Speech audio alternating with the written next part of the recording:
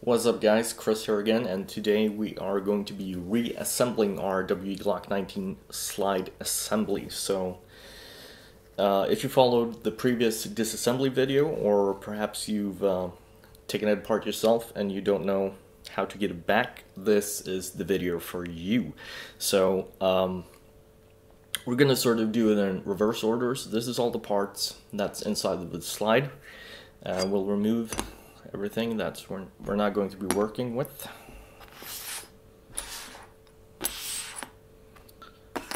And again, just put all of the small parts in a tray so you don't lose them.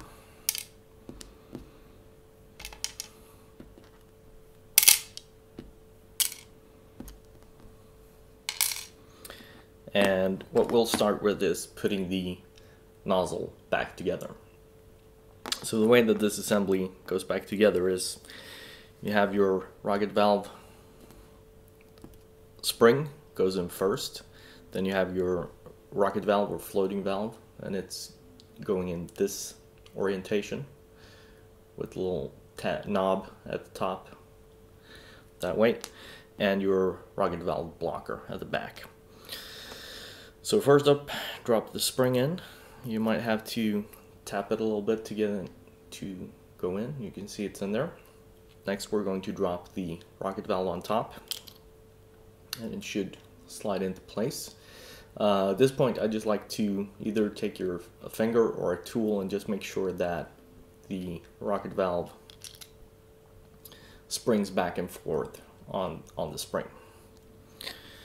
Now uh, we're going to put the rocket valve blocker in and the part with the blocked off rear flat face is going to be facing from the open out, out from the opening so you have your screw hole here you have your screw hole on top so put it in and slide it into place and you'll be able to see here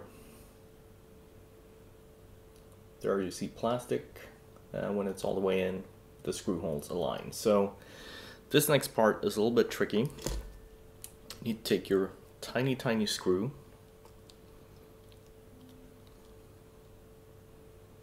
get it on your screwdriver. And what I normally do is I put a my uh, pinky finger in here and make sure the valve like the screw holes align when when it's pressed all the way down. So to keep pressure, put it on the table and get the screw started. And that didn't go in straight. Let's see.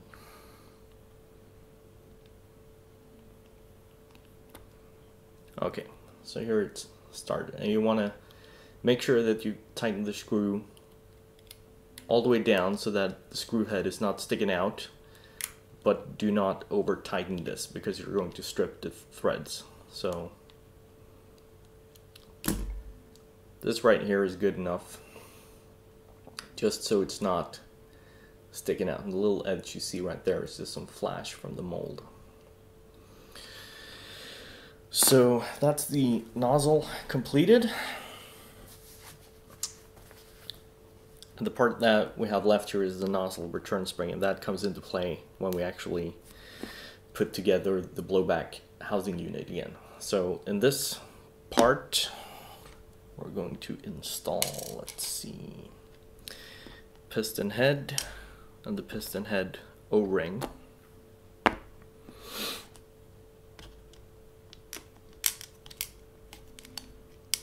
And the screw being used for holding the piston head in place is the large Phillips head screwdriver with the rounded head.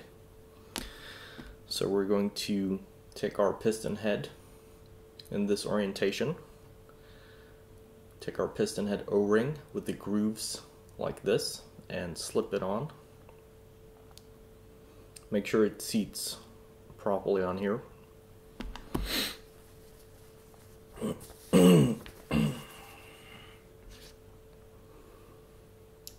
This. And we're going to be putting the piston head and O-ring into the blowback nozzle and installing our screw in here. So I'm going to do that off camera just to make it a little easier for me. Alright, so we got the piston head installed with the screw, and one thing I noted is that there's a little bit of play in the piston head even though the screw is all the way down. Um, normally that would be seated fairly tightly, but um, this is a WE pistol, so who knows. Next up, we're going to be putting the nozzle into the blowback unit assembly. I like to flip it over. Make sure you have these two tabs. Put them, put it in at an angle, and work it into place. And then it's going to slide onto the piston head like so. And at this point we can also, with the nozzle all the way back, we can go ahead and put the recoil, nozzle recoil spring in place. So that's your blowback unit and nozzle assembly completely back together. Put that to the side. So now we're going to start working with putting the inner barrel assembly back together. Let's take out the parts we need.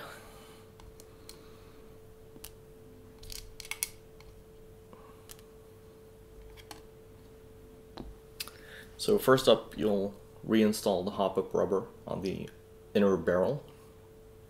And let's see if we can get a shot of this here. There's a groove cut in the inner barrel and that would be aligned down, so to speak. And this little tab here on the hop-up rubber would be facing to the uh, right side.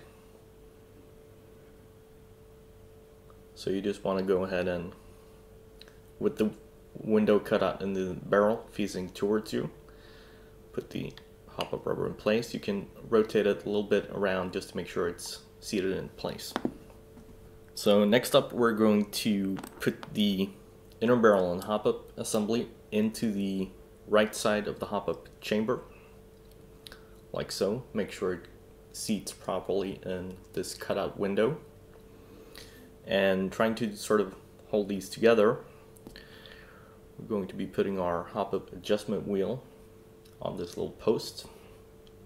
And note that it's flat on one side and it has a circular groove cutout on this side. So the groove goes up towards you.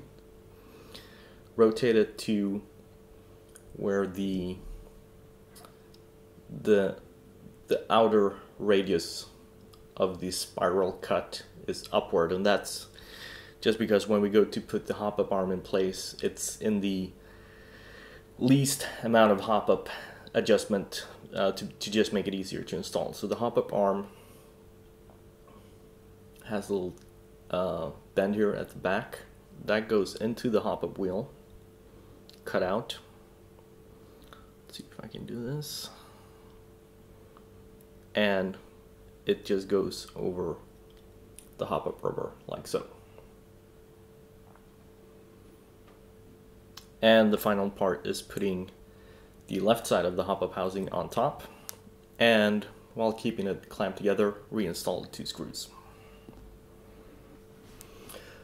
Okay, so we reinstall the screws, tighten them down fairly well. What you can do at this point, or actually before putting the screws in, just put a little bit of Loctite in there uh, if you want to make sure they stay together. And also make sure that your hop-up rubber is properly aligned in the hop-up chamber so none of the edges of the hop-up rubber are pinched or sticking out. If they are, loosen up the screws a little bit, and you can use your cleaning rod to just uh, push it into place. Okay, so with that completed, we can put the inner barrel assembly and the outer barrel assembly, like so. Put that to the side. And the uh, final piece here that we're going to be putting together, if I can find my... Uh, hmm... There we go. Uh, this is recoil spring guide assembly. So recoil spring guide like so. Spring goes on top. Push the spring down and hold it. and install the spring clip in this orientation. You just snap it into place. Let the spring come up and it's done. So right now we're back to our main components again. And what we want to do at this point is put the blowback unit assembly and nozzle back into the slide. And for that, we're going to need the rear sight and the rear sight screw. So simply mate the blowback unit assembly into the slide.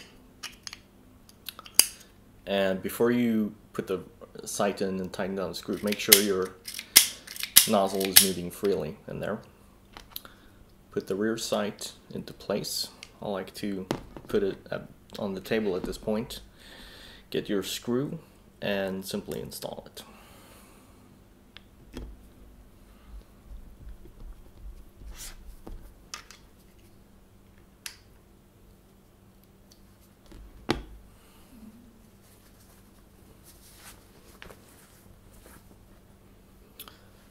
Okay, so the final piece that we need to put back is the front sight. So we're going to grab our front sight, front sight screw, push the front sight into the cutout.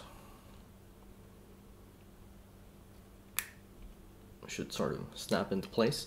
Since this is a, a square uh, assembly, it should line up straight with the slide right from the start. So take your screw, reinstall it. Okay, so the slide is now put back together, everything in place, and we're now back to just your basic field strip um, disassembly of the pistol. So to finalize the reinstallation, put the barrel in place and drop the guide rod in place like so and you're good to go. Get your frame back out, make sure the hammer is cocked.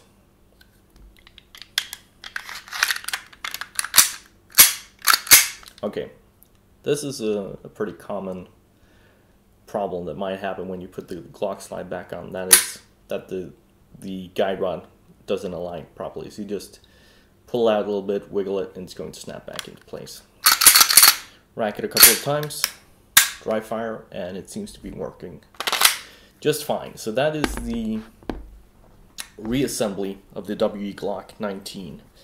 And in the next video, we're going to be uh, taking a look at the frame. So I'll see you guys in that video.